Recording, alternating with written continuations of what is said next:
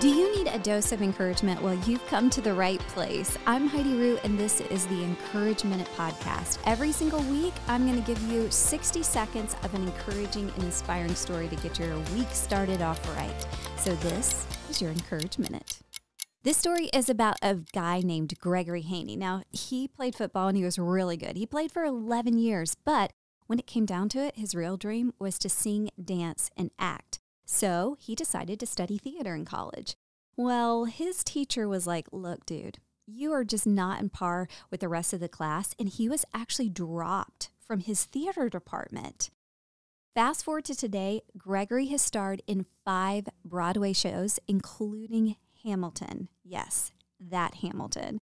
And it's just a good reminder that rejection is only truth if you accept it. I didn't book a voiceover job for four years, and I now make three times what I made in radio when I was there full time.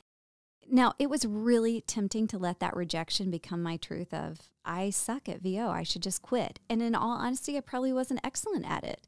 But I kept going, I kept learning, and I took every rejection as an opportunity to write my own truth. So I hope you can do the same for yourself. And that was your Encourage Minute.